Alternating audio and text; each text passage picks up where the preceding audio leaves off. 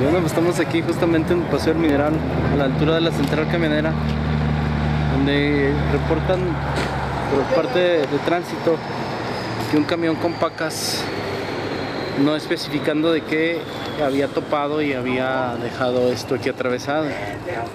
Aquí vemos a unos chavos que andan tratando de quitarla, ya que es peligroso. Algunos carros han tratado de, de chocar entre ellos, debido a que andan, le sacan la vuelta.